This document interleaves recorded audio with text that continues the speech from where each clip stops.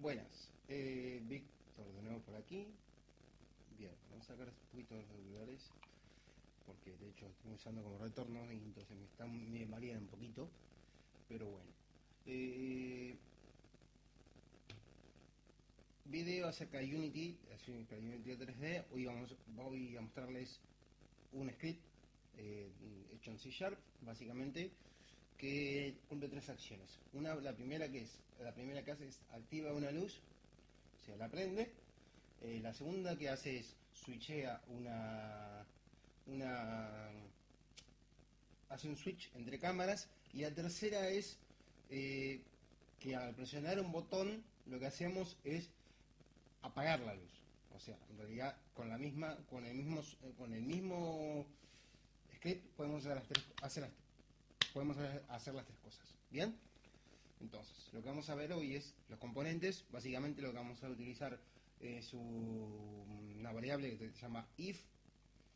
Vamos a utilizar y vamos a, bueno, vamos a, por eso mismo está, lo primero que voy a mostrarles será el script, ¿no? Bien, la idea es, eh, yo, ustedes si quieren, aquí abajo en la descripción le voy a dejar el enlace del script para descargarlo y se o sea, ya está funcional. Básicamente vamos a ver cómo hacerlo, cómo colocarlo. La idea, pero en realidad es eh, que ustedes entiendan cómo funciona, ¿no?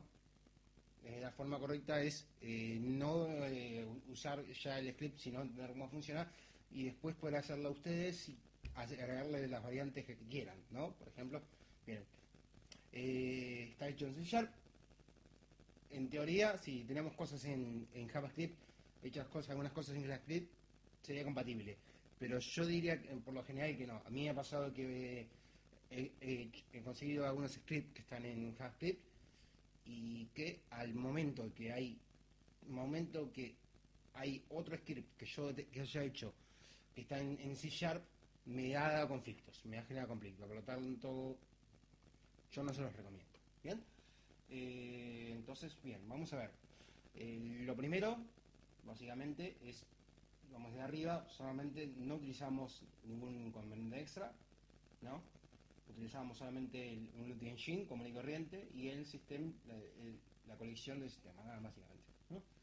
Esto, eso de acá arriba significa eso. Using Unity Engine, o sea, estamos utilizando, estamos haciendo una llamada al Unity Engine, estamos haciendo una llamada al también al, al System Collection, Collections las colecciones del sistema Unity dentro de este. No tenemos nada más. No estamos usando Send Manager ni ninguna otra cosa, así que bueno, solamente eso es lo básico, de hecho. ¿Bien? Entonces lo que vamos a hacer es, es aquí en el clip lo que tenemos es esto de aquí, la primera parte que es public class, que es el nombre del script. Como aquí arriba, el, script se llama lose off. En public class, en este caso acá, la primera clase que encontramos que está aquí, lo que vamos a hacer es que luz, sea el nombre tiene que ser exactamente igual al nombre de script. Porque si no directamente nos va a pasar que el script no se va a ejecutar porque tenemos un nombre y después la variable, la variable principal se llama de otra forma. No se va a ejecutar. Entonces tiene que ser el mismo nombre, de hecho. Si no directamente la consola nos va a tirar un error. ¿Bien? Y bueno, esto aquí, aquí lo que dice que está, está esto es una llamada, bueno, es una llamada, a, en este caso, a un nada más. ¿Bien? Abrimos un corchete, o sea, después de que tenemos corchetes, cuando abrimos un corchete lo debemos cerrar, ¿no? Vamos aquí, este es el primer corchete, y cuando yo paro en el primer corchete me va a decir dónde está el último, dónde se cierra. Si vengo aquí, el segundo, por ejemplo, me va a decir lo mismo. Este está abierto y acá está cerrado. Acá está abierto, acá está cerrado. Acá está abierto, acá está cerrado, por ejemplo. Y aquí está abierto, acá está cerrado. Todo, todo que abrimos tenemos que cerrarlo, todo eh, paréntesis que abrimos tenemos que cerrarlo. ¿Bien? A ver, C Sharp es un lenguaje, y nunca mejor dicho, son lenguajes. Eh, para programar nosotros usamos lenguajes, usamos un idioma, ¿no? Un idioma tiene sus reglas, tiene su gramática. La gramática de C Sharp nos dice que cuando abrimos un corchete debemos cerrarlo, cuando abrimos un paréntesis tenemos que cerrarlo, y tiene todo conserva cierta coherencia. Incluso en este caso tenemos, pero por ejemplo, si yo aquí adentro quisiera, dentro de este if, quisiera poner player entre, entre, entre paréntesis, por ejemplo, tendría que Por ejemplo, no, no, en este caso no se aplica, pero bueno, por ejemplo, yo quisiera en algún momento precisara que, que estuviera entre paréntesis, tengo que abrir y cerrar paréntesis, y tengo que abrir y cerrar el paréntesis del if, ¿no? De la declaración del if, ¿no? Bien. Entonces empecemos. If es un condicional, básicamente. If es, eh, en español sería algo así como sí, pero no sí de, afirmación, sino de sí pasa tal cosa. Es un condicional. Si pasa tal cosa, hace tal otra. ¿Bien? El complemento de if es else. Else eh, se necesita si no. ¿Bien? Si pasa tal cosa, si yo le digo si if, si pasa si tal cosa, hace esto. Si no, o sea, else, hace tal otra. ¿Bien? Eso podríamos hacer, por ejemplo, para algo que tuviera dos, que tuviera dos estados, ¿no? Que si hay un choque con, si yo hago colisión con eso, hace esto, y si no, hace la otra, ¿no? Entonces, bien. Por ahora vamos a, esto lo que este script tiene solamente if, no tiene else, solamente if, solamente si. Si pasa tal cosa, se activa. Y si no, no pasa nada. O sea, al que no tener un else, eh, o sea, no hay, no no hay ninguna no hay ninguna acción. ¿bien? Entonces, aquí tenemos tres variables que son GameObject, luz. GameObject se refiere a cualquier objeto. Un objeto. Eso es un GameObject. En este caso es una luz. Está por eso de hecho le puse luz. ¿no? GameObject, luz. Bien. Eh, después de aquí tenemos tenemos dos, las dos cámaras, que lo que vamos a hacer es switchar entre cámaras. Es decir, eh, la luz la vamos, a, la vamos a activar y desactivar. Pero las cámaras las vamos a switchar. O sea, yo estoy con la cámara principal, en este caso la cámara del, del, del, personaje, y cuando pase tal cosa, se va a pasar de esa cámara a la otra. Entonces yo tengo que declarar ambas cámaras y al yo declararlas públicas, este público lo que significa es que eh, se va a ver en... es algo que se va a ver en el inspector porque yo tengo que asignarlo y vamos a verlo, por ejemplo. Vamos a venir acá, yo me, fijo en el inspector y por ejemplo yo tengo acá en la puerta, yo lo puse, como ven. Yo aquí tengo, ese es el mismo script. Entonces yo tengo la luz, que la luz, en este caso, yo podría asignarlo, pero por lo general lo que se hace es arrastrar, ¿no? Entonces yo tengo que la luz es esta. Vamos a hacer, vamos a hacer una cosa, vamos a, poner eh, la escena a este lado para que se puedan ver, ¿no? Tengo que la luz es esto de aquí. Ahí me dice dónde está la luz. En este caso lo que yo voy a hacer es que cuando que algo se active cuando yo entre se prenda la luz del cuarto, ¿no? Entonces la luz es esto que estaría aquí. Aquí estaría la luz. ¿Bien? Ahora no se ve porque de hecho está desactivada, ya, se puede, ya puedo activarla. Como vemos ahí está representada por un foquito. Bien. Pero en el caso de lo que yo quiero es, encenderla, tiene que estar desactivada. Bien. Después, volvemos a, en este caso a la puerta, tenemos el script y tenemos las cámaras.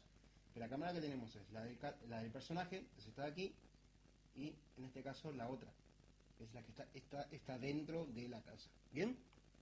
Eh, ya estaría, ¿no? Entonces tenemos la, del personaje, que se va a ir moviendo con el personaje, y tenemos la que está dentro de la casa. En este caso, la idea es que en esta pared hay un botón, básicamente. Ya vamos a poner el, carácter, vamos a poner... Eh,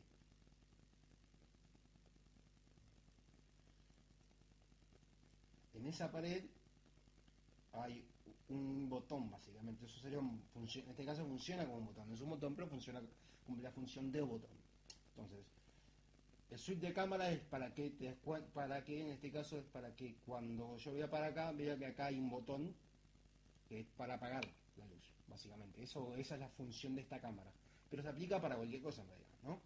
Eh, todo este tipo de cosas yo las saqué del manual de, Unity, ¿no? Si vamos aquí, esto es el... Eh, cuando instalamos Unity, nos da la opción de instalar el manual. En mi caso, vamos aquí y se dice a partir de files, o sea que en realidad el manual yo lo, tengo en, instalado en mi máquina. no sé si está, en- creo que está en español también. De hecho, a mí por defecto me lo, me lo leyó en inglés, me lo puso en inglés, pero bueno, yo lo entiendo igual. Aquí estoy mirando, estuve revisando ese tipo de cosas, las animaciones y cosas, cómo usar las cámaras, como el suite de la cámara, de hecho lo vi acá, cómo, sacarlo, lo hice acá, bueno, simplemente hay que entender cómo, hacerlo, ¿bien? Este, entonces lo que yo le digo, por ejemplo, en este caso, para cómo activamos un script, básicamente tiene que estar asignado a algo, a un objeto físico, ¿no? A un objeto que esté dentro de la escena, ¿bien? En este caso, lo que sería la puerta, que vemos ahí, tiene un, un objeto de colisión, tiene un box collider, que vamos a ver, por ejemplo, ese es el box collider, ese, ese es eso transparente que vemos ahí, es la caja de colisión que tiene la que tiene el, el objeto vacío en este caso que ahora está es la puerta.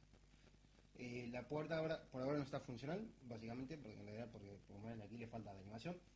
La tengo que animar todavía. Mm, hay una forma mucho más sencilla que es que se mueva a 90 grados pero yo quiero voy a hacer lo que yo quiero hacer es una animación que va a tener un audio y todo ese tipo de cosas tanto por ahora va, va- a estar ahí. Ahora está vacía. ¿bien? Eh, en cuanto, esto es el collider, el collider está- tiene que estar marcado como trigger. Bien, el collider, por defecto, si no está marcado como trigger, es un, es un objeto eh, que tiene masa, básicamente. Que, o sea, que tiene. que cuando chocamos con él, no, nos tranca. O sea, por ejemplo, en mi caso, por ejemplo, yo tengo aquí, ¿dónde está? Eh, ¿Era en este? Sí, en este es.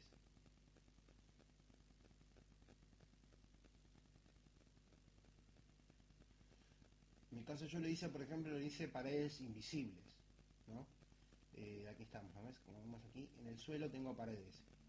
Las paredes son invisibles, básicamente. Están ahí, son, hay colisión, pero no, no se ven las paredes, ¿no? En realidad esto lo que hace es delimitar el, el- como aquí, señalamos esas cuatro paredes que nosotros vemos ahí que son invisibles, eh, no tienen, que tienen, que por ejemplo yo podría básicamente lo que es es no tienen no tiene activado el mesh render o sea no tiene no están activada la el hecho de que se vean. De hecho están ahí. Entonces como ven aquí el trigger no o sea no es trigger sino que es están fijas básicamente.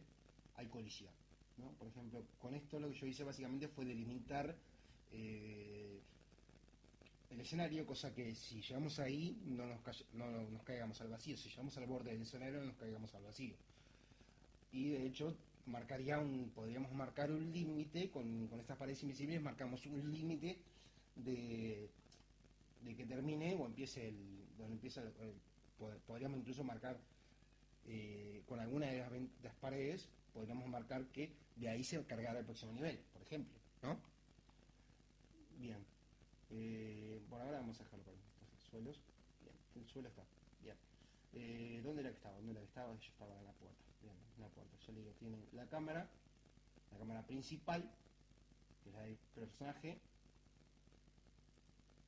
y la cámara secundaria, que es la que está dentro del, está dentro de la casa, básicamente.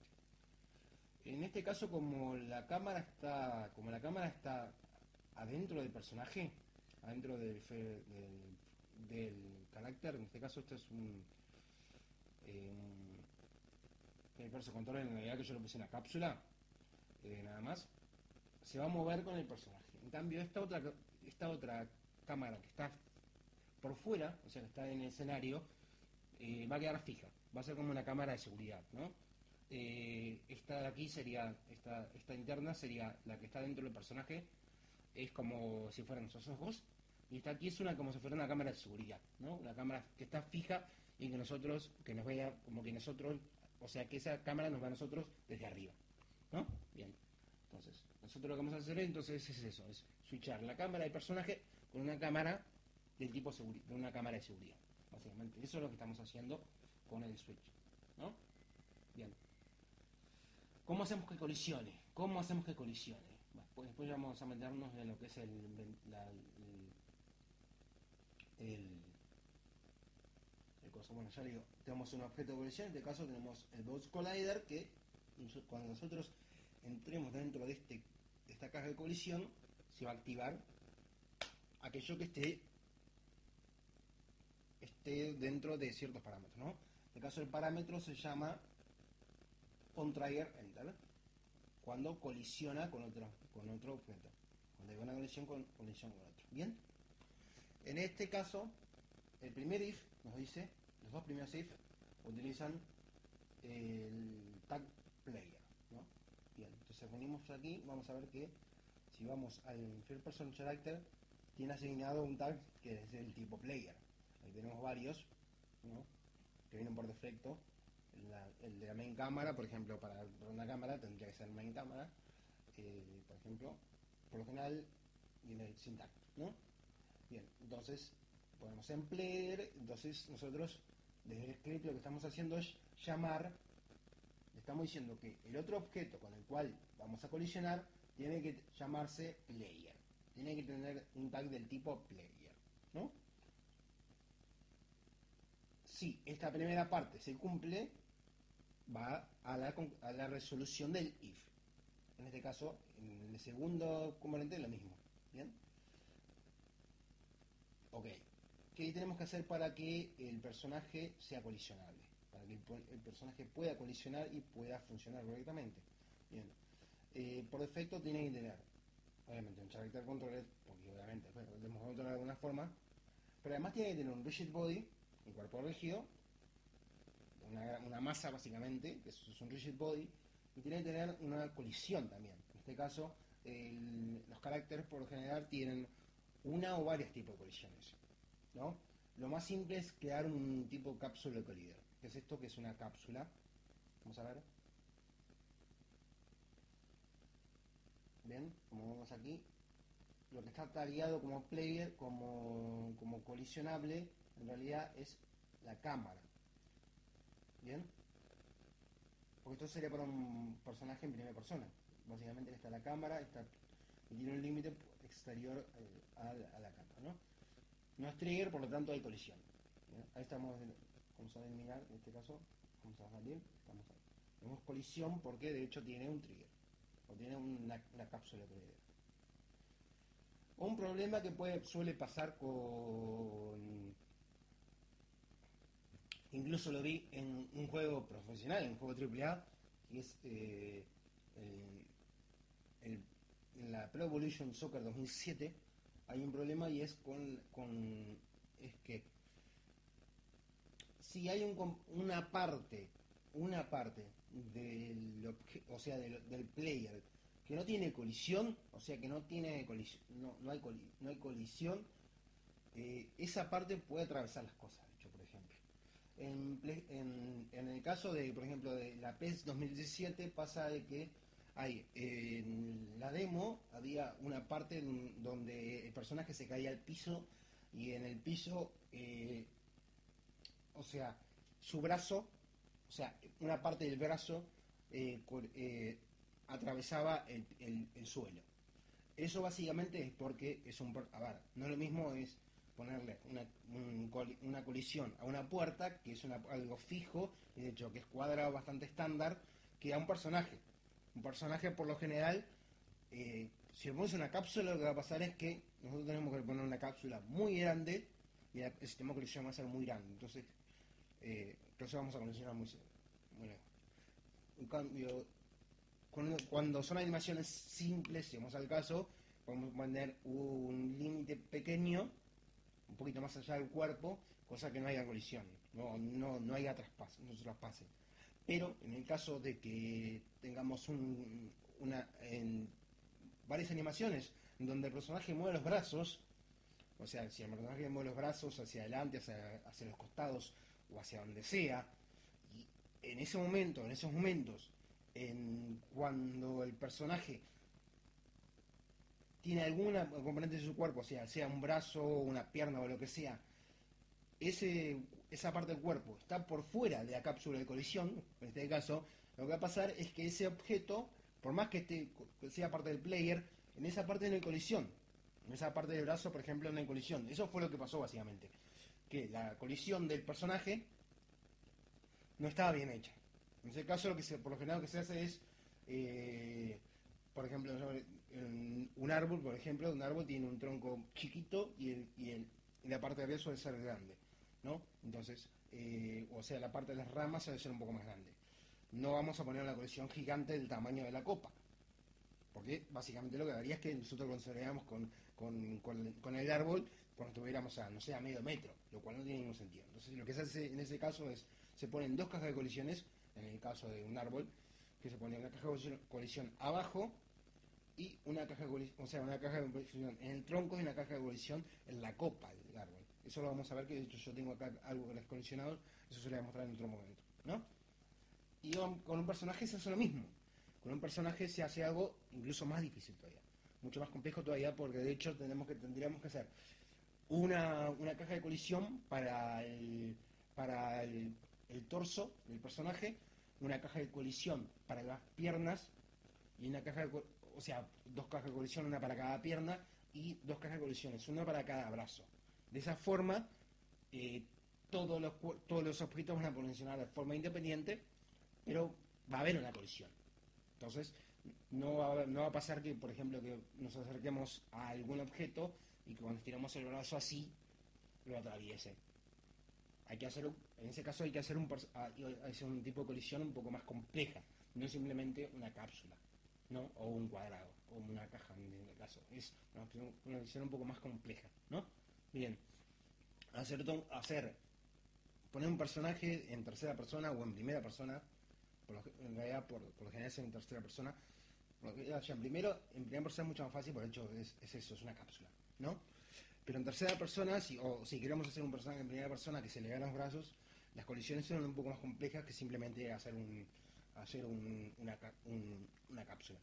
Lleva un poco, un poco más de trabajo. En este caso, por eso, por una cuestión de simplificar, yo lo que hice fue, para este ejemplo, es hacer una, colección simple, que en este caso es una, eh, una cápsula. Una cápsula nada más, y simplemente O sea, en este caso es una cápsula. Bien, entonces vamos ahí de nuevo, entonces a, ahora sí, tenemos que tener, recapitulamos, para que haya una colisión tenemos que tener un cápsula collider y un rigid body. ¿Bien? Un rigid body lo que nos hace en sí mismo es, nos hace, el personaje nos, eh, tiene física, básicamente lo va a tener es masa, eh, entonces si colisiona con otro con otra, algo más que tenga masa, por ejemplo, lo que va a pasar es que incluso los si la masa es mayor, eh, lo vamos a poder aprovechar, por ejemplo. Entonces, por ejemplo, si yo por, ejemplo, pusiera una, una silla o si pusiera algo que tuviera, no sé, una, pelota en el, en el suelo, un balón en el suelo, por ejemplo, y le pongo, el balón tiene un rigid body, pero el rigid body no sé, van a ser, el rigid body, como vamos a ver aquí, body tiene, tiene la masa, tiene el peso, tiene, tiene si usa gravedad o no usa gravedad. En este caso, el usa gravedad se aplicaría en el caso de que, por ejemplo, que fuera un personaje o que fuera un objeto que nosotros quisiéramos que estuviera flotando y que cuando o sea que o sea que, que que esté pegado al piso. Básicamente lo que usamos es, literalmente es gravedad lo convertimos en grave. Un objeto que tiene gravedad no en este caso como es un es una cabeza que en este caso algo que va flotando no tiene sentido que tenga gravedad porque de hecho se va a ir eh, se va a ir muy abajo no nos, va, a quedar va a pasar nos va a quedar eh, la cámara muy baja entonces yo lo, yo lo que hice fue quitarle la ¿no? Después la masa es para eso, es para, es para que con, cuando ya entramos a, ponerle eh, velocidad, cuando entramos a ponerle más, más eh, algún tipo de cosas, o sea, a complejizar un poco más el personaje, vamos a presar una masa y vamos a pensar que la masa sea algo bastante realista, ¿no? Entonces, por ejemplo, si yo en este caso tiene un kilo de masa, en el caso eso sería un kilo, y no es, no es muy realista. Tendría que tener como mínimo 60 kilos. Algo real, ¿no? Por ejemplo, ¿no? Por ejemplo, yo le digo, si hay, por ejemplo, en el piso hubiera una pelota, yo colisiono con esa pelota, la pelota de una forma esférica va a tender a moverse, ¿no? Pero si tiene una, una masa pequeña, si yo hago un- una pelota y le pongo 60 kilos de, de, masa, por más que yo la patee, o sea, yo voy a chocar y le voy a cho- es como que me he hecho, estoy chocando con una con, con, con- con una bola de boliche, con, con- como si estuviera chocando con un peso de, de cemento, básicamente, porque son, tiene 60 kilos de masa, lo cual es un disparate. Entonces, si yo tuviera un personaje, tengo al tener un personaje, en este caso, con masa, una masa real de 60 kilos, 70 kilos, como sería una persona real, y encontramos con un balón, el, el balón, eh, al yo colisionar con el balón, con una parte de mi cuerpo colisionar con el balón, el balón se va a mover, por el simple hecho de que hay una colisión. ¿tá? En este caso, en este caso lo que prepondera es la colisión del personaje, o, sea, de, del rigid body que tenga mayor cantidad de masa. ¿Bien? Entonces, eso básicamente. Bien. Para eso es para explicarle más o menos cómo funciona un rigid body. Pero bueno, esto no.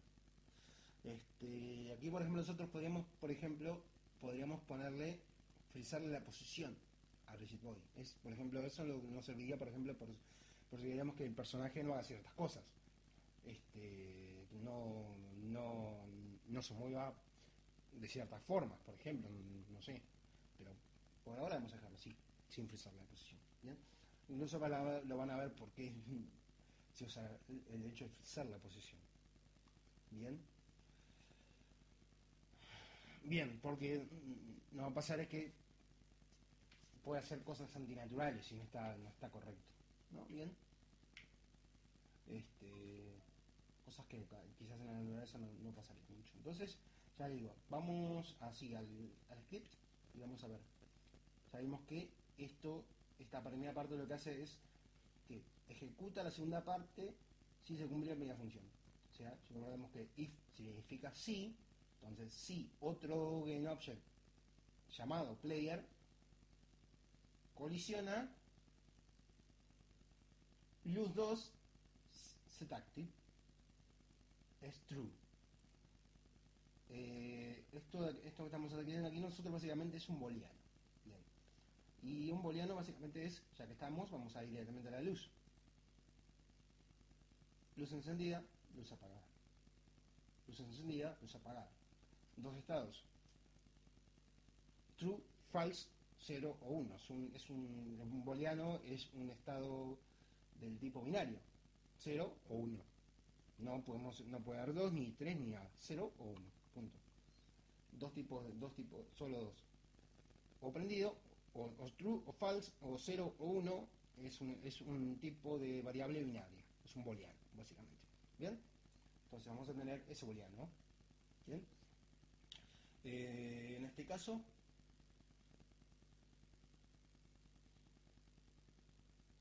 en este caso lo que estamos haciendo es, bueno, activamos la luz, básicamente lo que, básicamente lo que vamos a hacer es habilitar la luz. Por eso yo por eso yo les mostré de hecho acá en, la escena donde estamos, donde estaría la luz.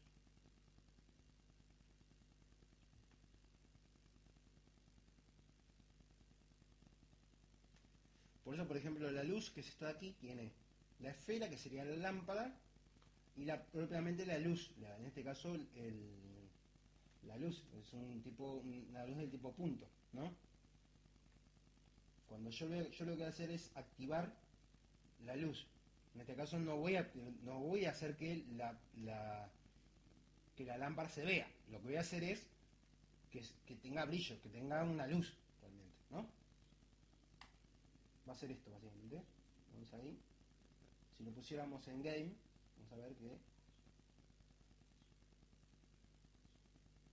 vamos a hacer, vamos a, en este caso vamos a ver FPS, lo vamos a la cápsula, que es esta de aquí, vamos a deshabilitarla, vamos a venir a la luz, vamos a ver. Está la luz, está apagada y está prendida. Apagada, prendida, apa- eso es un booleano básicamente. Entonces vamos a venir a cápsula. La cápsula en realidad es para el hecho para que se vea que ya hay de movimiento, ¿bien? Eh, vamos a ver. Después, la otra condición que se va a cumplir es que, sí, lo mismo, en este caso, eh, si, sí, colisiona esta forma, la cámara número 2, la cámara número 2 es falsa y la cámara número 1 es verdadera. Bien, básicamente lo que hace es apaga la, apaga la cámara número 2 y enciende la número 1.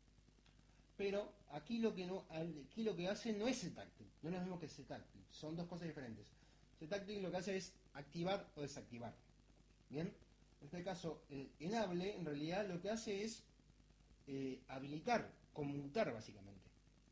Esta cámara, como nosotros la vemos aquí, la que es la cámara 2, que es la que se va a activar, en realidad está en la, está en la escena, está funcionando, está activada. Solamente que no es la cámara principal. ¿Bien? La cámara principal es esta que está, está dentro del personaje. Entonces, si yo vengo acá a la par, vamos a ver, la puerta yo tengo que la cámara 1, que es la que se va a apagar, es la que tiene el personaje. Perdón, la cámara 1 es la que se va a prender, que es la que es la que está por fuera. Y la cámara número, la cámara character es la que tiene el personaje, que es la que se va a apagar, que es la cámara 2, es la que se va a apagar, básicamente, ¿no? Bien. ¿Cómo ponemos acá? Esto en realidad es fácil. Yo lo que hago es arrastro hasta acá y ya está. Simplemente eso, no, tiene mucho más ciencia. Habilitar, o sea, no tiene mucho más ciencia habilitar este tipo de cosas. Y bien, ahora vamos a en este caso eh, la tercera función, que es en este caso, que es estas dos primeras se dan de forma automática al colisionar con algo, al colisionar, ¿no? Solamente con la colisión. La única condición que se debe cumplir es el hecho de que haya una colisión. Con una, colisión con, un tag, ¿no? Después, la tercera, que, está aquí, que tenemos aquí, va a ser, es, ya sí va a ser, es cuando hay una interacción, pero del tipo getAxis. GetAxis básicamente es cuando hay, cuando tocamos un eje, tomamos un axis, ¿no? En este caso el axis se llama F, que lo he lo hice yo, ¿bien?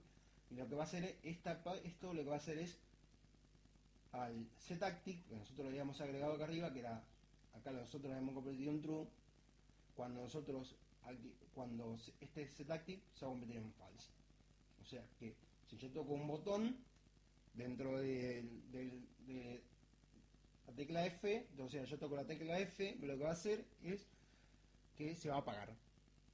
O sea, que se va a apagar la luz, básicamente. Va a desactivar la luz. Bien. Entonces vamos acá y vamos a ver que... Eh, bien.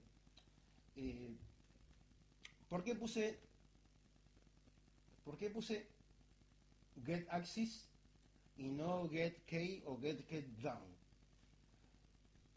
Y ahí está, acá está la parte interesante. Get axis eh, trabaja con el, con el input de general del sistema. ¿Bien? Get key es tocando una tecla cualquier tecla.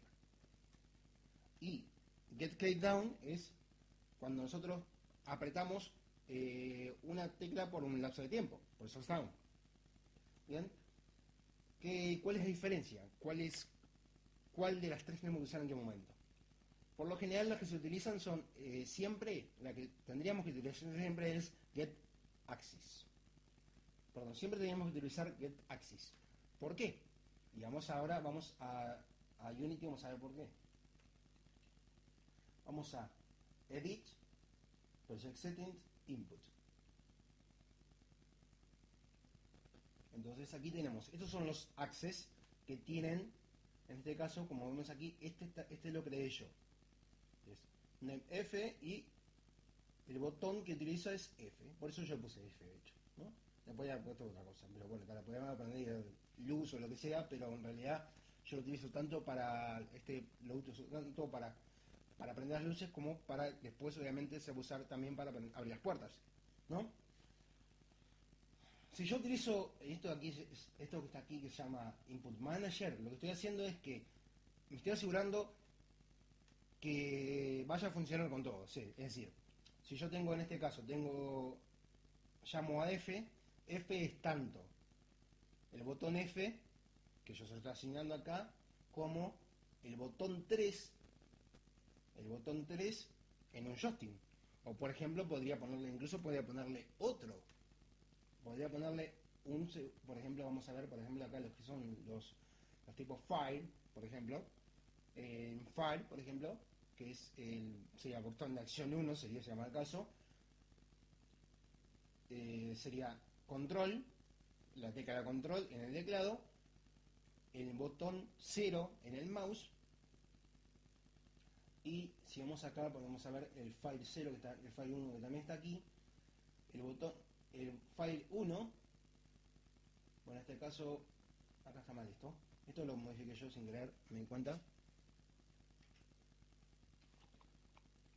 tiene que tener los dos el mismo nombre porque si no no, no, es considerado el mismo mm, Unity no lo va a tomar como el mismo como el mismo componente sino que lo va a tomar como componentes diferentes bien el Fire 1 es tanto el, control, el, botón control, el mouse, el botón del mouse y también es el joystick, es el botón 0 en un joystick. Entonces quiere decir que si nosotros usamos el Input Manager, eh, vamos, vamos, nos estamos asegurando de que nuestro juego va a funcionar tanto con, un teclado como con un mouse, como con, o sea, con, con teclado y mouse o solamente con teclado, o vamos a utilizarlo también en base a un con un joystick. Por ejemplo, con esto, con un joystick, con un joystick de, consola, o con un joystick de PC, se llama el caso. Esto es en realidad, por más que este juego este sea de, consola, en realidad es una versión para PC. Eh, entonces, vamos a ver que en realidad eh, ¿Cómo son los botones? La asignación de botones. Eh, según Unity, los botones en un joystick de se empiezan acá. Este es el 0, este es el 1, este es el 2 y este es el 3. No, perdón, este es el 2 y este es el 3. O sea, este botón, el botón naranjita que está acá, que es el botón I, el botón Y en español, en el botón Y eh, del mando de Xbox 360 es el botón 3. Eso así, así lo reconoce Unity.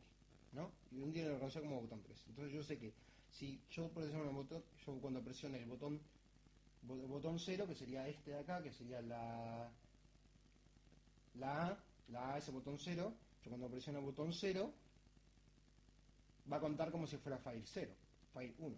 Bien. Entonces yo lo que yo hice fue básicamente fue crear el botón F, que el botón F es el botón 3 del joystick. Entonces, en el caso del joystick de Xbox, el botón 3 es la Y. Entonces, cuando yo toque este botón, el botón I, el botón este, este botón, el botón I, en el caso de, este mando, se va a cumplir la función asignada a F. Y por eso tenemos que utilizar la opción de taxis y no utilizar eh, que utilice tal o cual tecla. Bien, en el caso de que mm, lo que nosotros querramos, eh, o sea, de que nosotros estemos utilizando algún botón que en un que no esté configurado aquí, porque de hecho no están configurados todos tampoco, nosotros lo que tenemos que hacer es agregarlo, como yo hice, básicamente. Por ejemplo, aquí, aquí me dice que los ejes son 19, bueno, tendría que cambiarlo por 20. Por ejemplo, yo pongo 20 Y como vemos ahí me queda, en este caso me, me, duplicó el, F. Pero yo por este caso al F lo puedo, lo puedo, le puedo cambiar, le pondría otro nombre y le asignaría tanto el botón de un teclado como el botón de un mando. ¿no? Entonces yo te, lo que ahora lo que voy a hacer es en sí mismo es eh, mostrarle cómo están funcionando. La idea es que también tengo que hacer un video explicando cómo configurar el joystick desde aquí y cómo, en este caso vamos a hacer una especie de tutorial,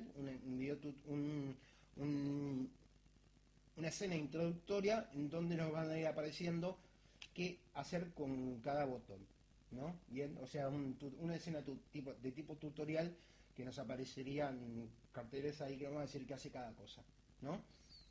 Bien, pero eso es lo que viene, eso es el siguiente video que tengo planeado hacer, ¿bien? De hecho ya, ya, tengo la escena, eh, estoy trabajando con la escena y más o menos ya estoy creando todos los, los canvas y este tipo de cosas, que también es otra, eh, son otro tipo de cosas que vamos a ver también. Bien, ahora volvemos al script y vamos a ver que ya digo, básicamente cuando presionamos la tecla F, que yo le puse F en realidad, pero no, como ya digo, no me refiero a la tecla F, sino me refiero a la llamada a Unity que se llama F, a la entrada llamada al Input Manager. ¿Bien? Como ya, ya está asignada, si yo acá pusiera F, de poner F, pondría H, por ejemplo, que lo voy a hacer. No. Bien, si yo acá pusiera H, en vez de F,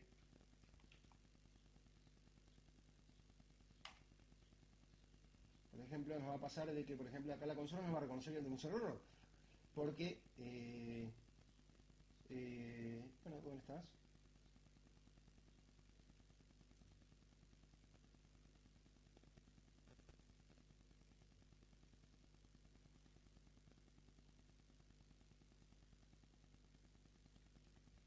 ¿Dónde está? Vamos a abrir, en este caso vamos a abrir el...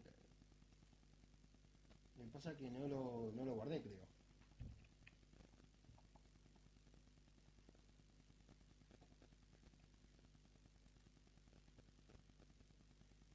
Bueno, en este caso, como en realidad como hasta que no ejecute, yo cuando ejecute, o en este caso, si ejecutara en este momento, ejecutar el juego, eh, cuando presione la tecla F, en este caso la tecla H que yo le puse, como Unity no reconoce, me va a tirar un error aquí en la consola. Me va a decir que no sabe que es F, que es H, porque no es una tecla. Yo estoy llamando, cuando yo uso get, get eh, cuando uso get access, estoy haciendo una llamada Unity y no estoy asignando una tecla.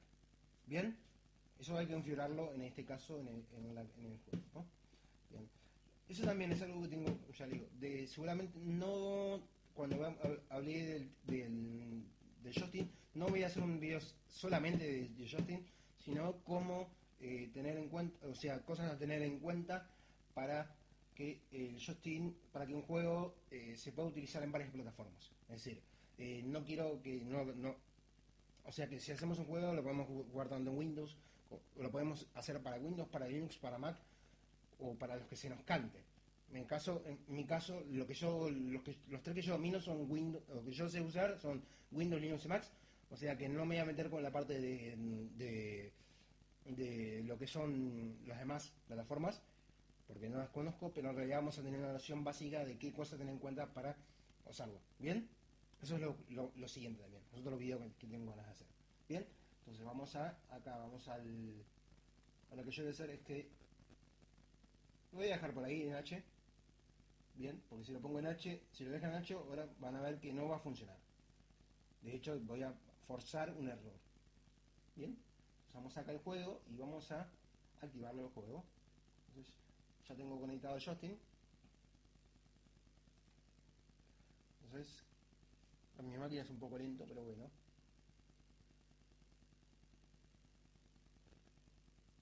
Ahí me está apareciendo, acá abajo me está apareciendo en la consola un error, que el error que me está apareciendo es porque yo que no le asigné una animación. O sea que, no, perdón, que le asigné un animador, una animación o un, eh, controlador de, animaciones y sin embargo las animaciones todavía no están configuradas. Eso es el error, ese amarillo que me está apareciendo ahí abajo. El error amarillo es una advertencia, pero no necesariamente es algo que está mal hecho. ¿Bien? Ahora asignamos, ahora vamos a movernos. bien, me equivoqué, me acabo de. Ya les dije, si la, si la luz está prendida no se puede prender de nuevo. Es solamente los estados. Si, no, está prendido, se apaga. Si está apagado, si está apagada, se prende, pero si está prendida, no se va a apagar. porque nosotros nos dijimos que la desactivar. Bien, entonces vamos a ir acá.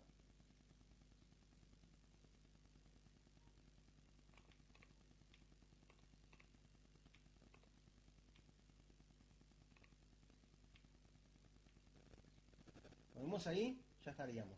Entré con el personaje, cuando entré me cambió la cámara y prendí la luz. Yo ahora acá podría apretar la tecla F.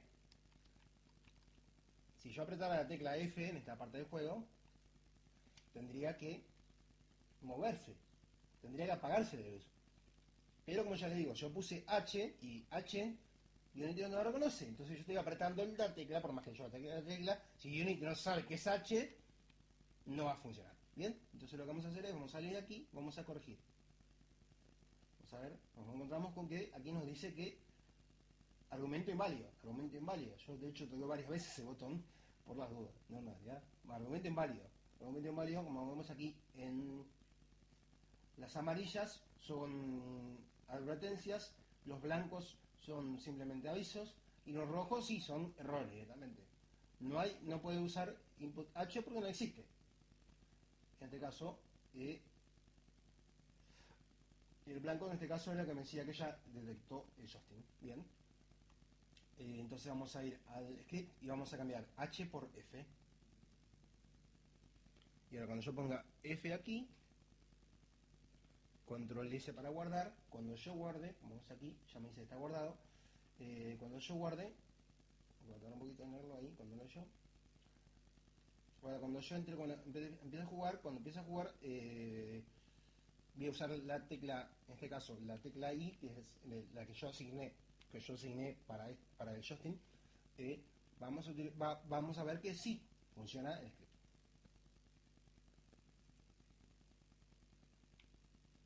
Yo ahora camino, camino, camino, camino, cuando prendo ahí, cuando me acerco hasta aquí, prendo la luz, automáticamente. Entonces, yo ahora, por ejemplo, yo tocando la letra, la letra I, se apaga. Entonces, yo lo que hago es volver a colisionar, simplemente. Como es un objeto de colisión, bueno, como vemos aquí, ahora en realidad ahora lo que pasa es que no tenemos, no, hay un switch para la cámara, ¿no? Eso lo que tendríamos que hacer es otra colisión que cuando nos salgamos del, área de cobertura de la cámara, que por ejemplo ahora no estaba hecho, no está conectada, es que cuando salgamos del área de, cuando salgamos del área de, visión de la cámara, cuando haya otra colisión y que nos active de nuevo nuestra cámara, ¿no?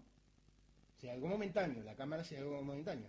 Pero simplemente sería, de hecho, poner una tercera, sería poner eh, una colisión, que ya lo vimos, como de hecho, como se, hace una colisión, como agregar una caja vacía, que fuera trigger, asignarle esa tecla asignarle, en este caso, asignarle este mismo, incluso podríamos asignarle este mismo, este mismo, este mismo objeto, este mismo,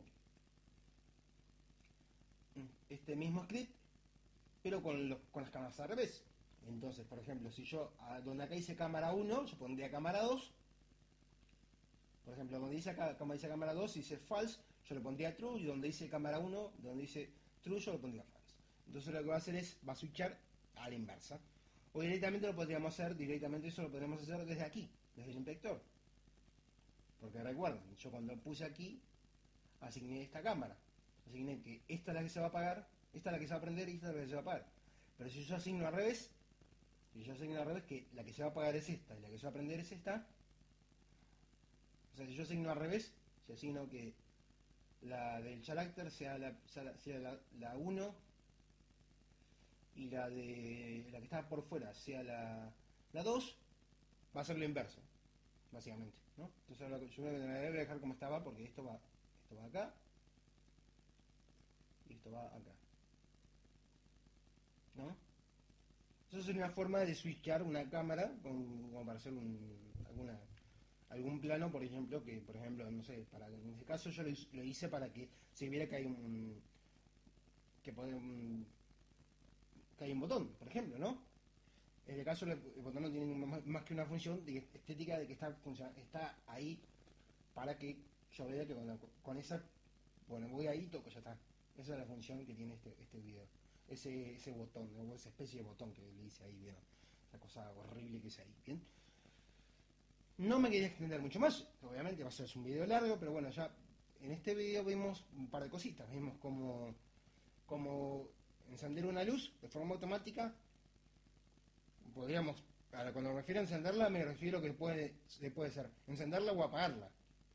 ¿Bien? Y cómo encender o cómo apagar una, luz con un botón. Y además vimos cómo hacer un cambio entre eh, cámaras, entre una, entre una cámara o la otra. Bien, La diferencia es que las cámaras, en el, en caso de las cámaras, las cámaras ambas tienen que estar activas, solamente lo que nosotros hacemos es conmutar entre una cámara que está activa y otra cámara que está, está o sea, una cámara que está activa, pero que es la cámara principal, y otra cámara que está activa, pero no es la principal, sino que está ahí simplemente. Bien, una cosa diferente es lo que hicimos con las luces. La luz, en sí mismo, la luz, en este caso, la lámpara, la, propiamente dicha de la luz, estaba desactivada. Nosotros lo que hicimos es activarla. Entonces, de esa forma, con lo que con, se podría hacer, por ejemplo, lo que hicimos con el con, con con la luz, podríamos hacerlo con, con, con un objeto, con un personaje incluso, o con la música, por ejemplo, una música por ejemplo, para que cuando entráramos a, a una habitación o cuando pasáramos por cierto lugar, se activara una melodía, para que, o sea, empezara a sonar algo, por ejemplo. Eh, en el caso del personaje, lo que podemos hacer en sí mismo es que hay un personaje, obviamente lo tenemos que poner lejos porque si no quedaría extraño eh, que un personaje apareciera, ¿no? Lo que podemos hacer es que cuando entramos dentro de cierto lugar, por ejemplo, cuando yo entrara, por ejemplo, pasara por la puerta, hay un personaje que está que está fuera del rango de visión, obviamente que no, nosotros vamos, no lo vamos a ver, quedaría fuera del rango de visión, lo que va a hacer es que va que ese personaje se va a activar, ¿no? Ese personaje se va a activar si es un amigo, por ejemplo, ese enemigo nos va a buscar y nos va a atacar, por ejemplo. Y entonces vamos lo que vamos a hacer, eh, lo podemos hacer con un está activándolo básicamente. Eh, hay otra forma, que, pero ya es un poquito más complicada, que es que incluso podemos hacer que un personaje que está estático, o sea, en el caso de un personaje que está quieto, que sea, por ejemplo, que fuera un, un enemigo, el enemigo está quieto en el lugar, cuando nosotros entramos dentro de un área de colisión, podemos activar una, una animación. De esta misma forma también. No de esta forma, sino que de una, forma un poco más compleja, de hecho, pero se puede. ¿Bien? Entonces, esto más o menos era lo que tenía que mostrar en este video, así que no me quiero extender mucho más, que ya por sí mis videos son bastante largos, trato de explicar lo mejor que puedo y ya les digo, sobre todo de que eh, no sea, no se queden, mm, no trato de hacer un video para que, les digo, bájense esto y, úsenlo de esta forma. No, yo pretendo, lo que lo pretendo es enseñarles a cómo hacerlo, cómo se hace, por lo tanto, después ustedes lo pueden, lo pueden replicar, incluso pueden meterlo dentro de otra cosa, por ejemplo, ¿no? No necesariamente de esta forma, sino que, bueno, ya eh, quiero, estoy haciendo un script y quiero activar algo, pero no quiero que se active de forma independiente, sino que se active dentro de ciertos parámetros que yo tengo.